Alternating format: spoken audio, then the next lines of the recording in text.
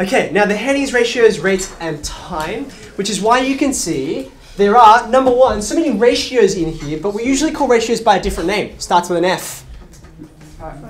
Fractions, right? Like these guys, okay? Ratios, fractions, really the same kind of thing. Lots of rates as well, but rates are all in units, right? That's why you get centimeters in here and time as well. Many rates are something per hour, per, per minute, or per second, right? Which is why we include all the, these ideas together, right? So let's see, how are we going to go? Well, can you start me off with question one, mate? Two meters, how many centimeters? 200. Fantastic. So we're going to multiply by 100. You might remember that um, that decimal uh, metric, sorry, um, diagram that shows you how to convert between kilometers, meters, centimeters, millimeters. Okay, so we're multiplying by 100. No big deal. Greatest common divisor, which is GCD for short. That's the biggest number. That's a factor of both of those. Brandon, you want to take me for that? Six. Six. Okay. 6 divides into 12 twice. It divides into 18 three times. Is there a bigger one? Hmm. Uh, it's easy to check when you look at the smaller number. Smaller numbers tend to have less factors. They don't always, but they tend to, right? So what's a bigger factor than 6 that fits into 12? What's the next factor after 6? 12. It's, it's 12, isn't it, right? Like, you can't get any other factors, and 12 clearly doesn't divide into this, so we already have the biggest one. Does that make sense? 7 over 10, what's our equivalent fraction? Yep, Uh, 21. 21 over 30. And how do we get that? How do we go across Danielle? Um, times by three because it changes. Yeah? Yeah, yeah, good, good. So the whole idea of the equivalent fractions is if you do the same thing to the denominator as the numerator, the fractions will stay the same. As long as you're multiplying or dividing, right? Like for instance, a common error is to answer 27. That's a very common error to make. How did I make that error? I, I added instead of multiplying, right? So 10, you add 20 to get to 30. So how about I add 20 to get to 27? Why is that a problem? Because it's a completely different fraction. Yeah, that's exactly right. Like you, you can check, you can actually you can draw a diagram if you like. 27 out of 30 is quite a lot more than 7 out of 10, right? And not to mention that, but fractions, right? Like this um this fraction sign, what's an abbreviation for? What operation is it? It's yeah, Dividing. it's division, right? So it's division. It's all about dividing and multiplying. This is not an adding subtracting thing. It's it's a multiply divide thing. So that's why 21 is exactly right. Okay, who wants to have a go at the next question for me?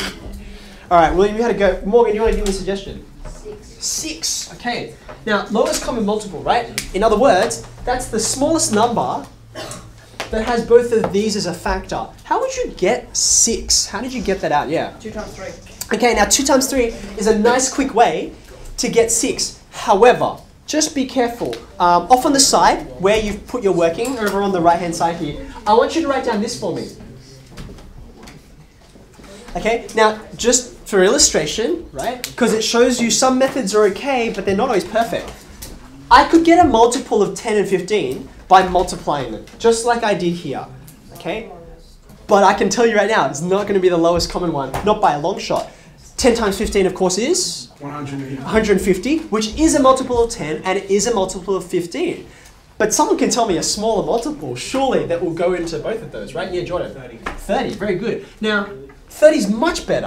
How do we get 30? Because it's much, it's much smaller, yeah. It's because you, what you can do is you can have like two lines where you go 10, 20, 30, and then below you have 15, 30. Good, 45. good. So lowest common multiple, common means it's a multiple of this one and it's a multiple of this one. So you can write down your multiples of 20. You can go 10, as was just suggested, 10, 20, 30.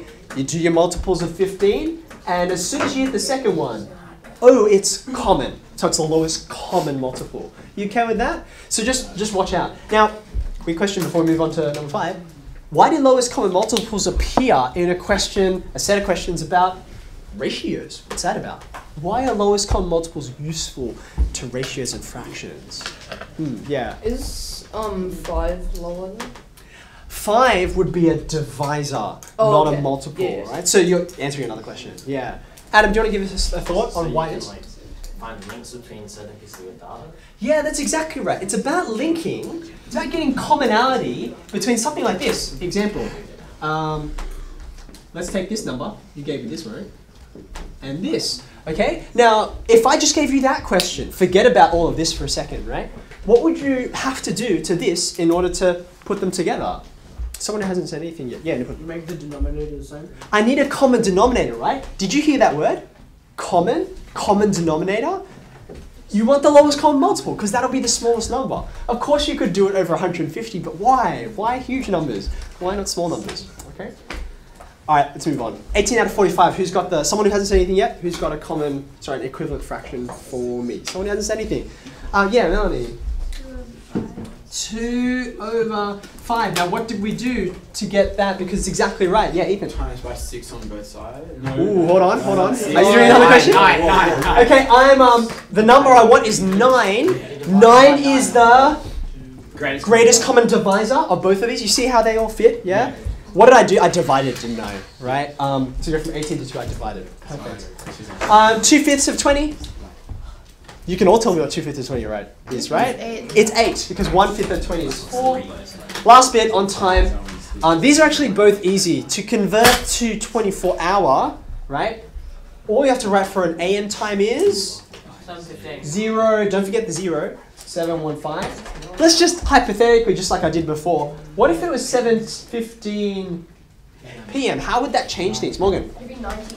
Very good. Because It's 12 the hours. difference between AM and PM is 12 hours, right? Because the clock has 12 hours on the face, so yeah, another 12. Last one. It'd be the same time. 4.10 in the morning or the afternoon? It's the morning. Nailed it. Okay, fantastic.